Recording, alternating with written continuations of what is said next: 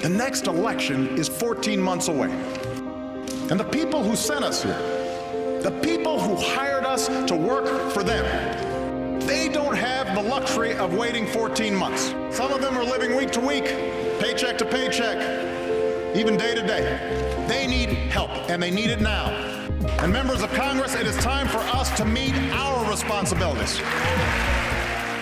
The Democratic National Committee is responsible for the content of this advertising.